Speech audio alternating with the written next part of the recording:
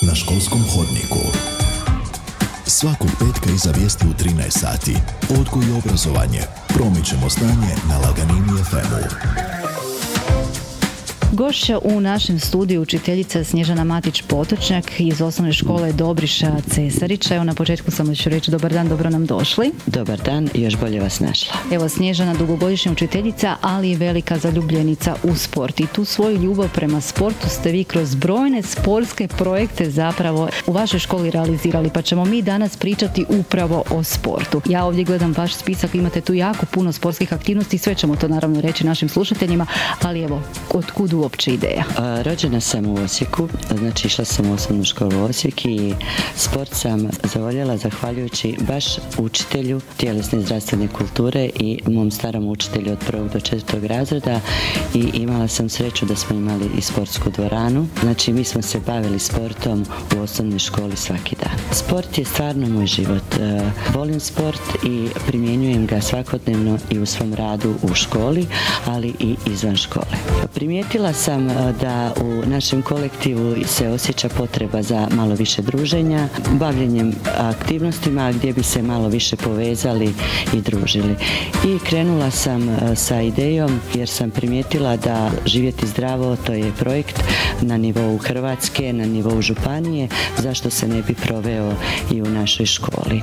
Znači iz različitih ciljeva, a najviše radi učenika, e, zbog njih smo tamo, ali htjela sam tu i naše djelatnike uključiti radi različitih ciljeva. Projekt Živjeti zdravo je jedan veliki, veliki projekt. E, mi smo malo ovako i listali sve te papire, on je uspješno dovršen, pa evo što ste vi to sve odradili u ovom projektu, imali ste tu i mnogobrojne suradnike. Da, taj projekt sam uh, započela prije dvije godine i projekt je rađen godinu dana.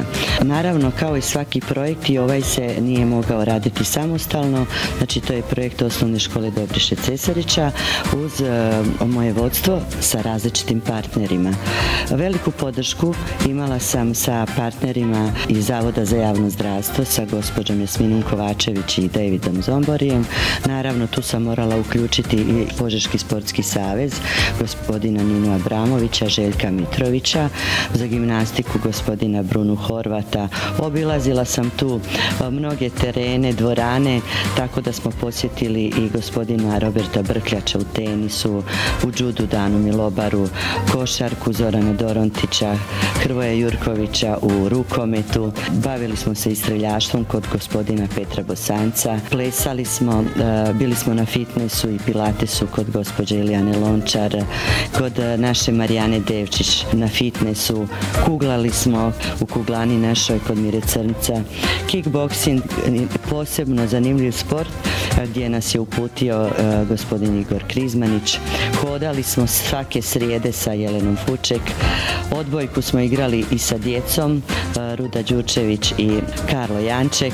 Čak smo se bavili i jogom kod e, gospodične Marije Treger. Lana Leskovar nas je uputila u dječju košarku, žensku. Gospodin Želimir Žuljević, tadašnji ravnatelj katoličke osnovne škole, omogućio nam je suradnju katoličke škole i naše škole gdje ta suradnja se održala i dan danas. Odbojku igramo svake srijede u 20 i 15 i naravno suradnja sa Kudom Požiška dolina. Dakle i sport i ples i aktivnosti za učenike ali i za djelatnike škole. Evo kako je projekt proveden, kakvi su utisci, o tome pričamo u nastavku naše emisije. Na školskom hodniku. Učiteljica Snježana Matić Potočnjak je draga gošća u našoj današnjoj emisiji, a mi pričamo o jednom velikom sportskom projektu koji je dio i nacionalnog projekta Živjeti zdravo, kojeg je Snježana pripremala dvije godine. Evo, uspješno je realiziran u osnovnoj školi Dobriše Cesarića. Evo, čuli smo s kojim je sve klubovima škola ostvarila suradnju, pa evo, Snježana, kako je uopće taj projekt organiziran? Kako ste vi to sve realizirali? Plan je bio sljedeći. Napraviti popis sportova koji će će biti u zbornici škole. Tu su bili odbojka, stolni tenis, hodanje, streljaštvo, kuglanje, fitness, folklor, yoga, biciklizam, pilates, aerobik i planinarenje. Znači, djelatnici su imali mogućnost upisati se koji sport žele, isprobati, vidjeti, a učenike sam svaki tjedan vodila u jednu od e, sportskih dvorana kod trenera koji su nas prihvatili i sa zahvalnošću mogu reći svim tim ljudima da su nam omogućili sve te treninge besplatne. Što je posebno još lijepo što smo koristili 10 minutno tjelesno vježbanje u školi, u hodniku škole, znači i za učenike i djelatnike. Motivirala sam i učenike tako da ko bude najbolje radio vježbe pod odmorom, taj će sljedeći put voditi 10 minutni taj trening. Hoće li ta praksa 10 minutnog treninga se možda nastaviti? Meni to ovako zvuči fantastično, kao jedna uvertira u sve obaveze koje očekuju učenike, ali i učitelje u tom danu? Pa nadam se da većina kolegica i kolega i do sad e, i prije toga su provodili na satu. U hodniku nažalost više e, nema, ali svaki djelatnik e, ima mogućnost provoditi 10 minutno vježbanje u svojoj učionici. Nadam se da uz mene to većina i rade. Evo moram pitati kakav je bio odaziv, vi ste obilazili razrede, dakle svi učenici vaše škole su imali mogućnost sudjelovati u ovim besplatnim treninzima, sve je to ovisilo o njihovoj želji, volji, njihovim afinitetima. Kakav je bio odaziv, kako ste vi kao organizatorica cijelog tog projekta zadovoljni? Odmah mogu na početku reći da sam jako zadovoljna. U projektu je sudjelovalo oko 100 i nešto učenika, znači ali učenika razredne nastave i 41 djelatnik. Provela sam anketu međunarodnu e, o obavljanju aktivnostima, koliko se bave aktivnostima i sportom, znači na početku projekta i u završnoj fazi. Rezultati su zaista fantastični. Mnoga djeca su se uključila tada u klubove u koje sam ih vodila, a ono što me posebno veseli kad ujutro dođem u školu pa vidim da neke kolegice dolaze u trenerci, znači da su već obavile jutarnji trening. Odlično, bila je ovo prilika da i školarci upoznaju koje se to sve sportske aktivnosti zapravo nude na području našega grada, a možda za njih do sad nisu ni znali, a sad znaju zahvaljujući vašem projektu. Međutim, projekt Živjeti zdravo je samo jedna u nizu sportskih aktivnosti koje ste vi proveli u školskoj godini i o tome ćemo pričati u nastavku naše emisije. Na školskom hodniku. U našoj današnjoj emisiji gošća nam je učiteljica Snježana Matić Potočnjak. Mi smo malo predstavili jedan fantastičan projekt kojeg je škola Dobriša Cesarić uspješno realizirala upravo zahvaljujući inicijatorici projekta, to je naša sugovornica. Radilo se o projektu Živjeti zdravo, to je bila i suradnja sa Zavodom za javno zdravstvo, jedan veliki nacionalni projekt gdje je jedna komponenta evo održana i u Cesarićevoj školi gdje su se učenici i djelatnici škole imali prilike upoznati s raznim sportovima potpuno besplatno i ono što je posebno meni ovako zapelo za uho, to je bilo 10 minutno vježbanje u holu škole, jedna aktivnost evo koju stvarno treba podržati. Međutim, Snježana, to je samo jedna od sportskih aktivnosti, da tako kažem. Jedan veliki projekt kojeg ste uspješno realizirali, ali jedna od sportskih manifestacija koju ste vi proveli u školskoj godini. E, tako je, znači projekt Živjeti zdravo ili pokret za zdravi život, kako sam ga nazvala, se nastavlja i dalje.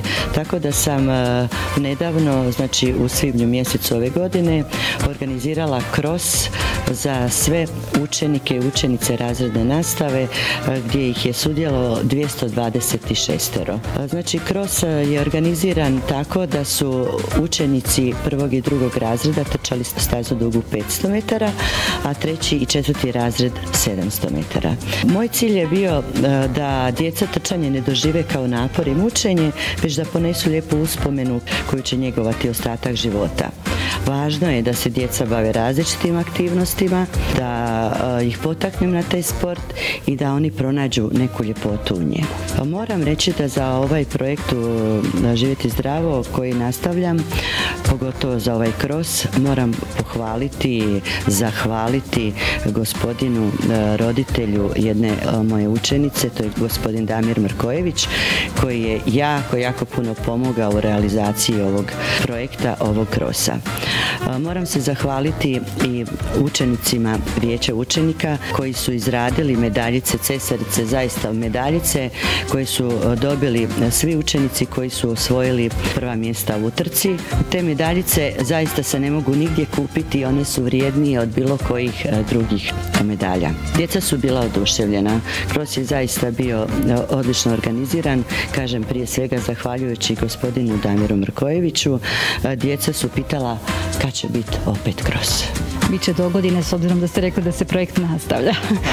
Ali osim krosa bilo je tu još nekakvih e, sportskih aktivnosti pa ako ih možemo evo za kraj naše emisije nabrojati. Tako je, to su bili e, početkom e, rujna obilježavanje olimpijskog dana. Obilježila sam to kroz različite sportove sa svojim učenicima izradom tih lovorovih vjenčića.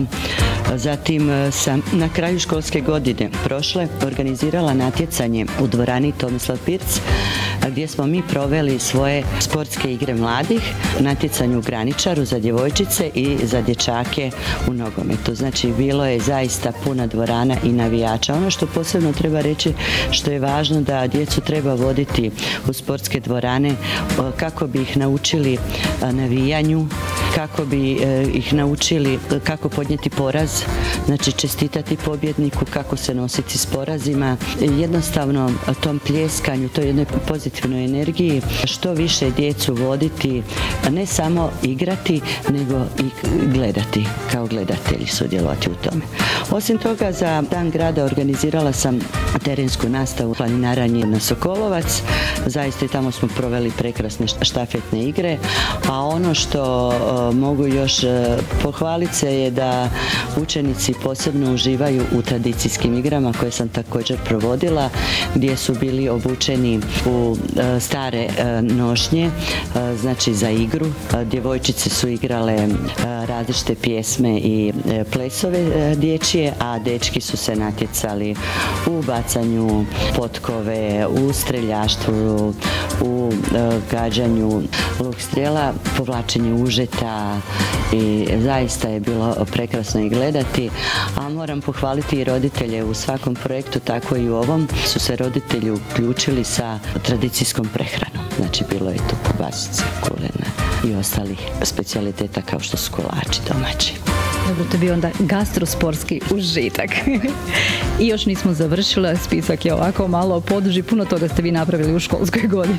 Tako je, za dan škole tema nam je bila ples. Kao voditeljica Kuda Požeška dolina uvježbala sam svoje članove sa jednom koreografijom i tu koreografiju smo poklonili našoj školi, a učenike također sam vodila kod gospođe Ilijane gdje su se oni bavili plesom. Ilijana je bila oduševljena, pogotovo dečkima, baš ih je i pohvalila, nije vjerovala da će biti toliko aktivni.